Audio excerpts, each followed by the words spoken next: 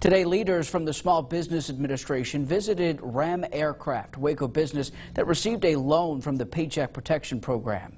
Ram Aircraft was approved for a $940,000 loan from Community Bank and Trust Waco, allowing for 85 workers to keep their jobs.